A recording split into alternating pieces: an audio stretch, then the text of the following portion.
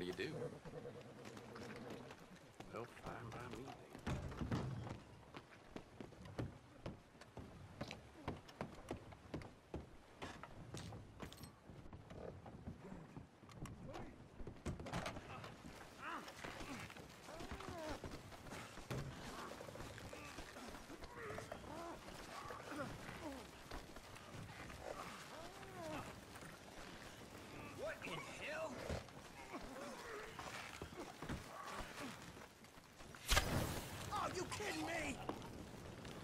shit.